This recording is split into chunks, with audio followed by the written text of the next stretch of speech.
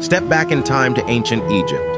Cats became cherished companions of pharaohs and were often found by their side or royalty, bringing them comfort.